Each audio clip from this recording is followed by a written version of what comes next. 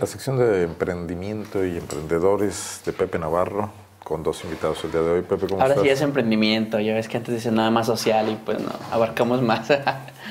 Tú, tú la bautizas, es tu sección. Pero preséntanos a tus Este, invitados.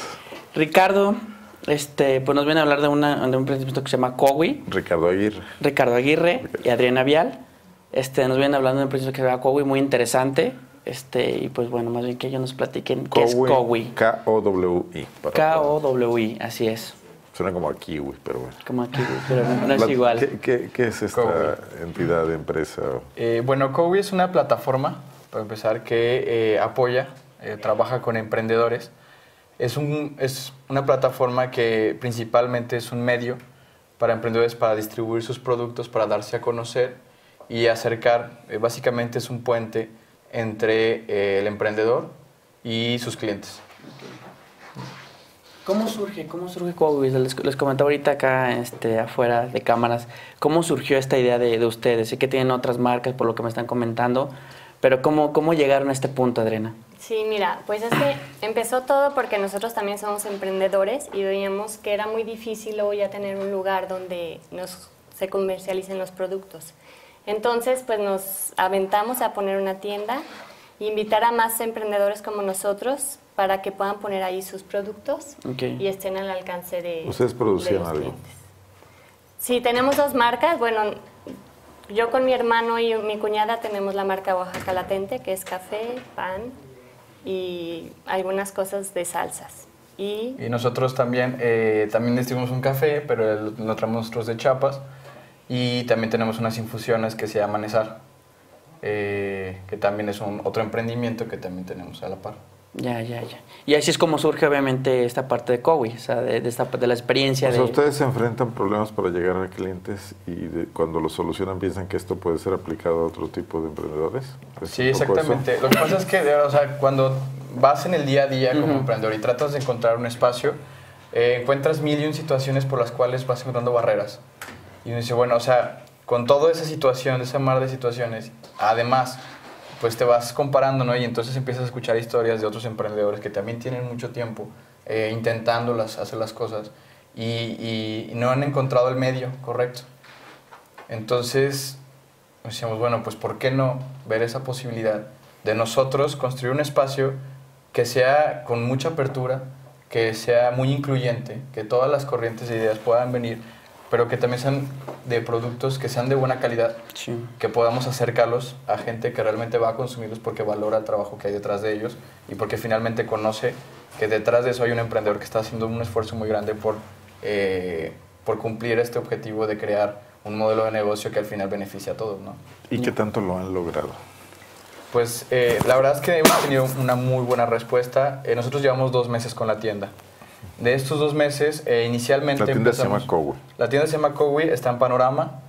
Eh, a- a- inici- inicialmente abrimos con cinco marcas. Cinco marcas pertenecían a la tienda. Al fin del mes pasado, o sea, el del mes que acabamos de cerrar en enero, eh, cerramos ya con 52 marcas. Es decir, 52 emprendedores que ya están incorporados a- como socios dentro de la tienda. Y bueno, entonces tenemos una variedad aproximada de 500 productos. ¿Y la gama de productos abarca desde qué? Desde todo tipo. Desde- tenemos eh, alimentos, tenemos eh, productos de cuidado personal, eh, artesanías, ropa, o sea, de todo tipo de de, todo tipo productos, de productos. Mientras sean guanajuatenses o no hay problema que sea de otro, de otro estado. mientras sea mexicano. sí. No, mexicano. Pues eso es lo, lo interesante, ¿no? Que también se pueden adquirir productos de otro estado aquí mismo, ¿no? Porque mucha gente viaja y pues va a comprar productos de otro lado cuando los pueden adquirir aquí. Sí, también tenemos productos como veíamos de Oaxaca, de Chiapas, Sí. tenemos productos de Veracruz, de Querétaro y pues de varias regiones de aquí de Guanajuato. ¿Y les da tiempo a ustedes para seguir manteniendo las marcas? La tuya, Adriana, la tuya. Sí, Pues es complicado, Sí, pero, pero Lo no podemos olvidar el, el inicio, ¿no? Claro. Y lo que nos ayuda es que somos cinco, entonces nos repartimos las tareas y pues hemos hecho buen ¿Y equipo. qué pasa? Se empieza a generar una clientela, gente que está buscando productos diferentes, que no quieren comprar el café en el súper, sino que desean otro. Eh, O sea, tienes que contar con el interés un poco de, de tu clientela, localizar a, a la gente que tiene ese interés específico. ¿Cómo, cómo lo hacen?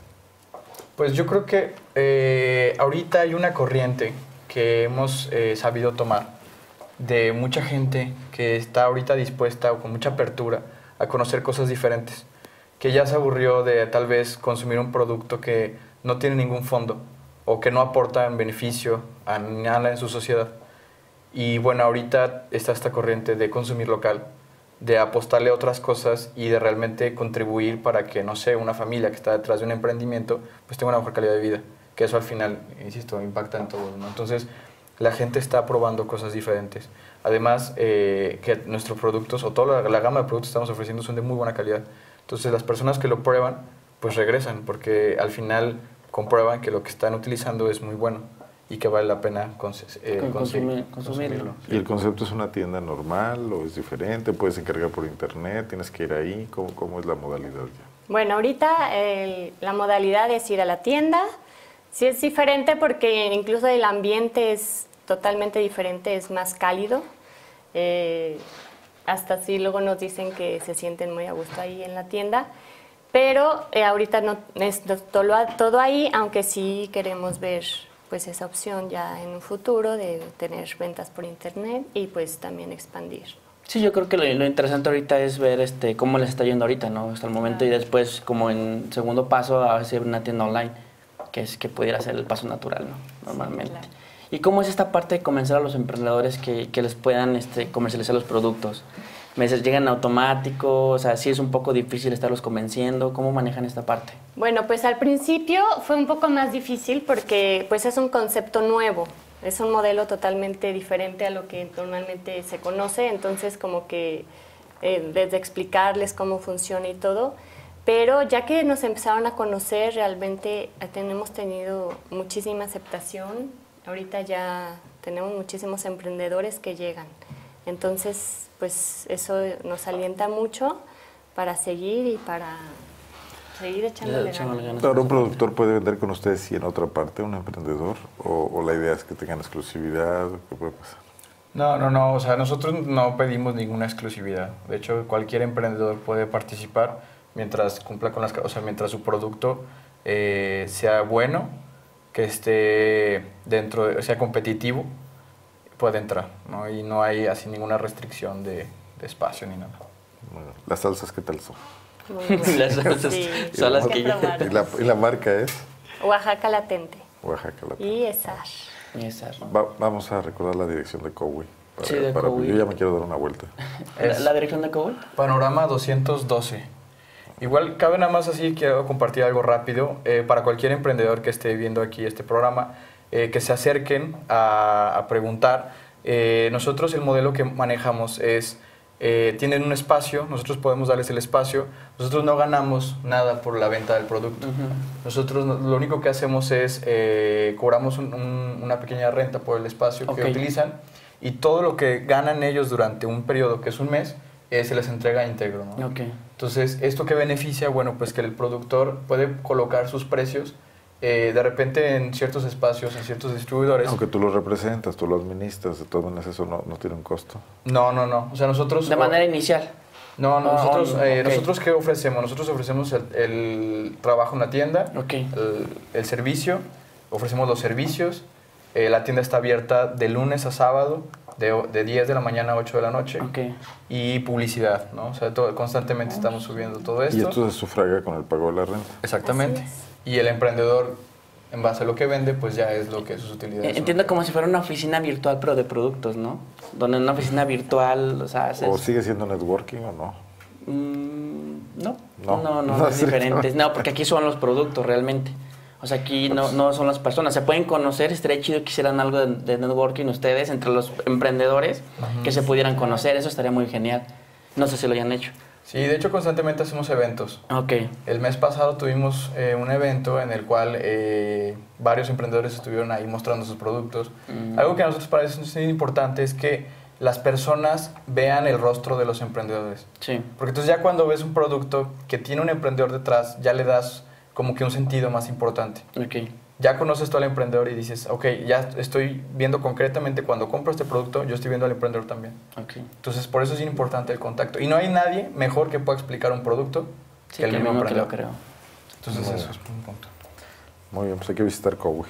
Cool. Sí, ahí los ¿No dice la. ¿Sí dice la dirección o no? Sí, la dio, panorama, pero panorama 212. hay que recordarla. más ¿no? o menos. Como a tres cuadras antes de llegar a Insurgentes. Correcto. Ya. Muchas gracias, Ricardo. Adriana, gracias, gracias a los dos, Gracias gracias a. Pepe. Sí.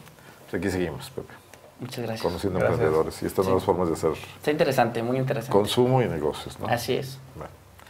Yo voy a una pausa, mientras tanto vamos a hacer un último enlace, vamos a localizar eh, este, en San Francisco del Rincón, después de la nota que le dimos, donde también hay un incremento de la violencia, la reacción de sus autoridades.